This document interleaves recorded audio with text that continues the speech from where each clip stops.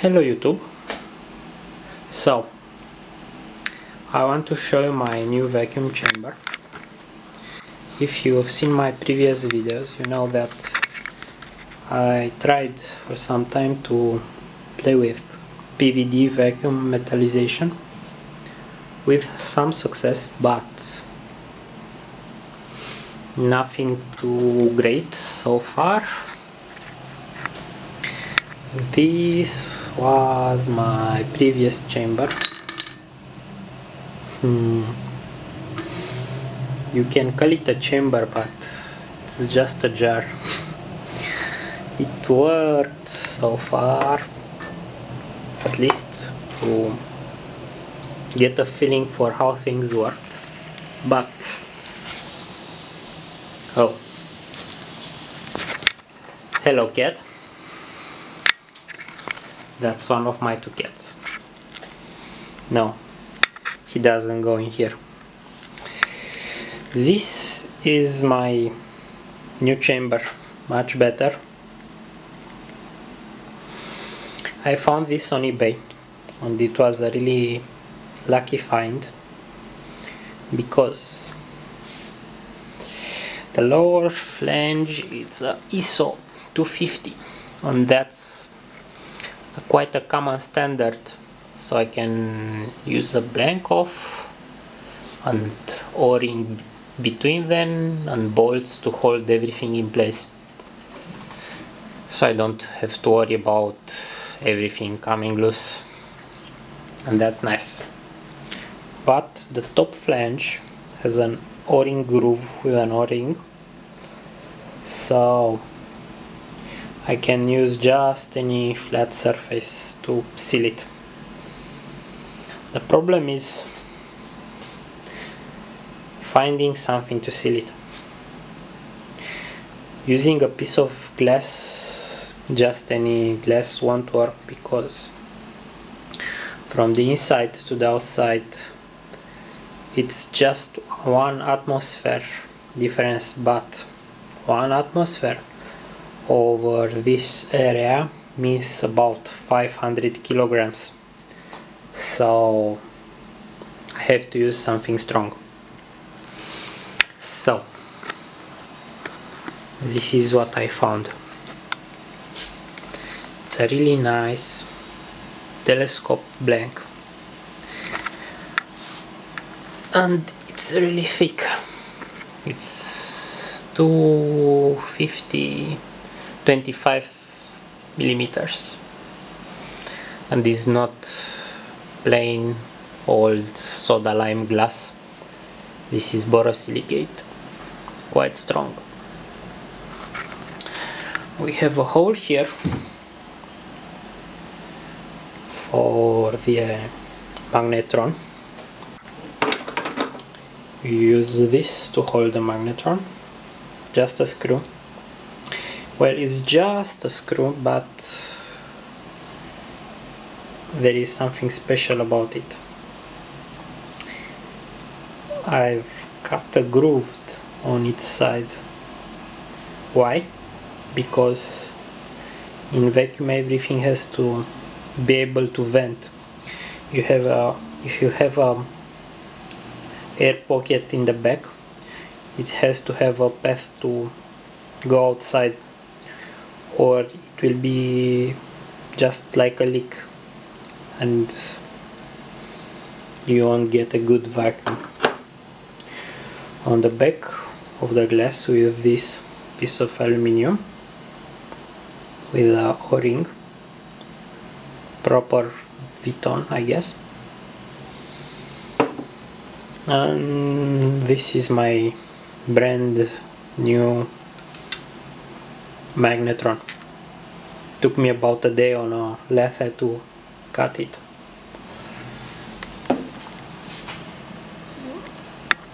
Okay we have two screws here that hold our target. Hmm, okay so this is a silver coin. Why silver? Because it's unreactive. So if you have junk inside your vacuum chamber it will not react with it and you will get silver. And these are the magnets. One ring and one cylinder with a backing plate. That's just a coin.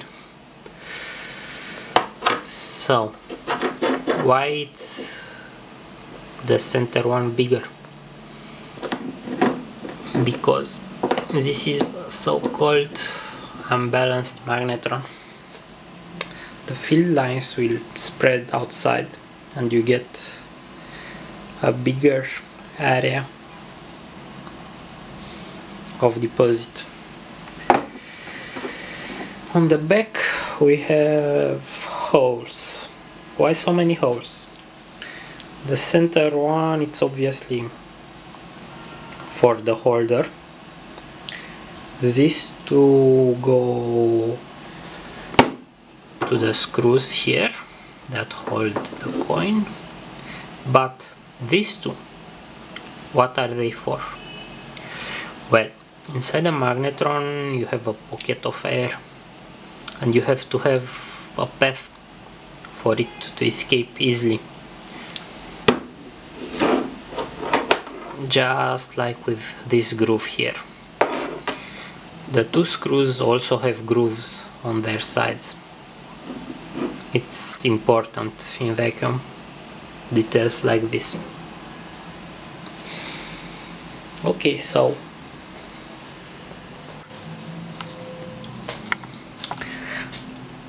I will just assemble everything and show you how it works. We have this piece of plastic. It's a single-sided PCB we'll turn it into a double-sided one I guess.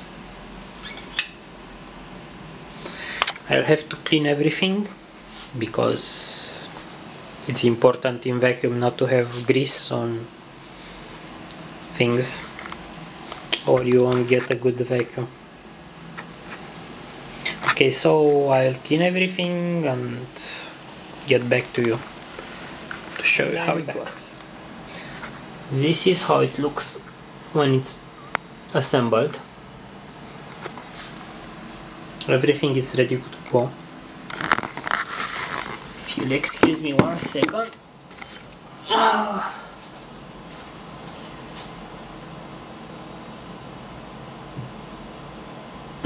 Okay. And this is how it looks. But there is something important important missing this what's this this is a blast shield. Just in case. We put them on top. So if something happens I'll still be able to see everything is ready to go. Let's turn on the pressure gauge.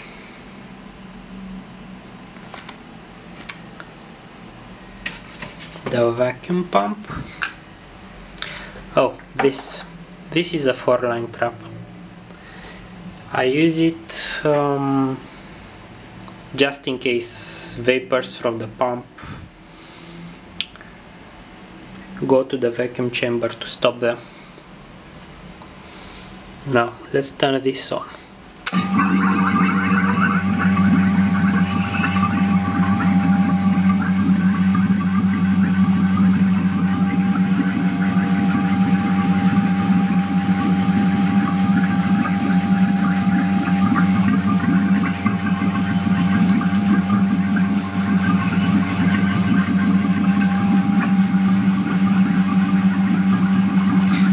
gonna take a while. I'll just be back when it's ready to well couple of minutes later. 96 microns. This is almost ready to go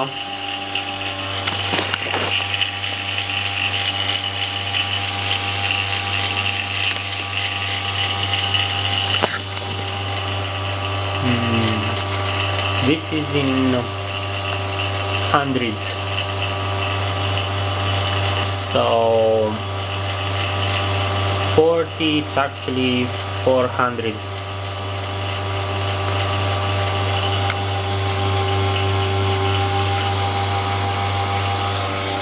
okay let's turn this thing on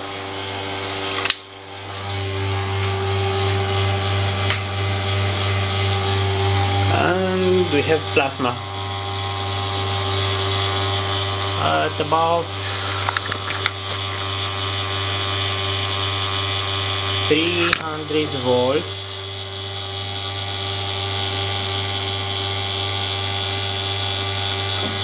hmm.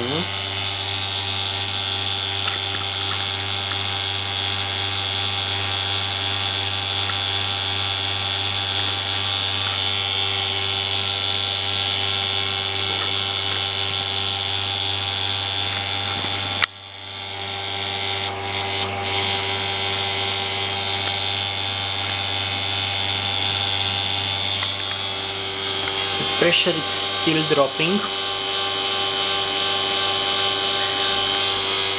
Interesting fact about this. Below a certain pressure you can't start the plasma. You have to have it already running or you have to increase the pressure. Or it won't start. Now another thing I want to tell you about the silver I also tried copper but copper to get a proper sputtering of copper it's hard. Copper is really reactive. It will just react with junk that you have inside the vacuum. You need a really really good clean vacuum to, to properly sputter copper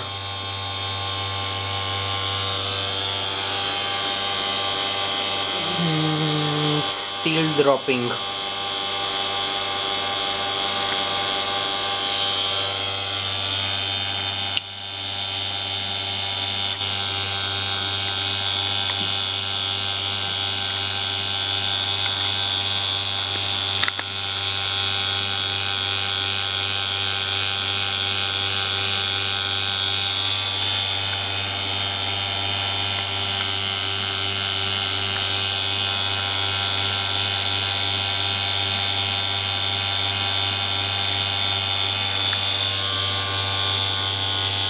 think it's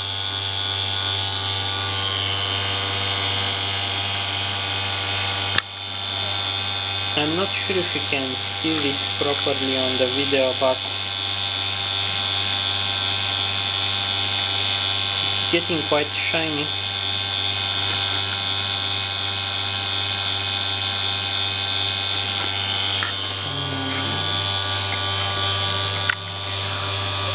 The voltage also rises with the pressure.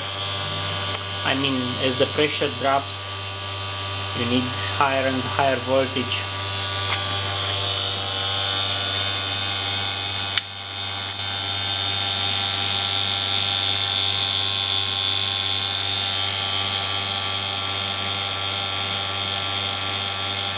I'm gonna try something just for fun because I think it's almost done. I will stop the plasma and show you that this pressure it won't start again.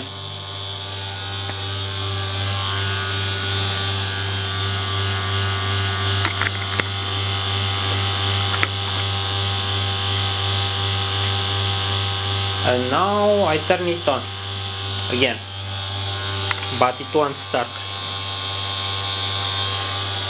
the voltage goes up like crazy because there is no load from the magnetron but it won't start. At 22 microns well make that 21 it will go lower than 20 but 20 is a good pressure to sputter silver I guess. Okay. Let's turn this off. Let's vent the chamber.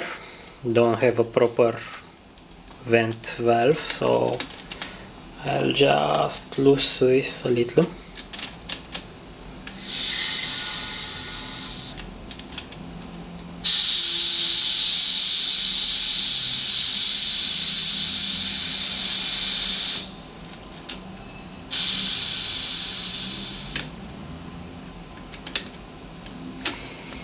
okay now. Oh. Let's turn off the power supply first. I don't want all the voltage going through me. Yeah this should be safe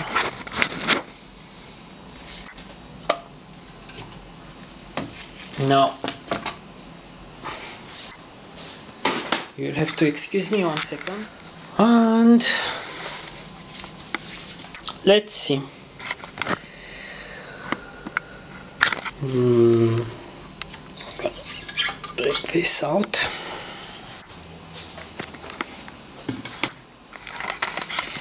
I hope you can see this. Mm. It's quite shiny. Let's see how conductive it is.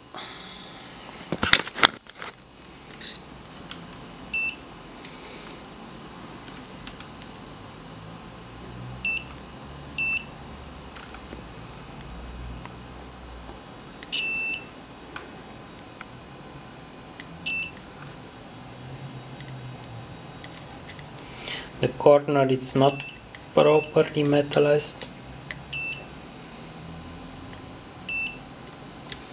goes almost to the corner but not quite.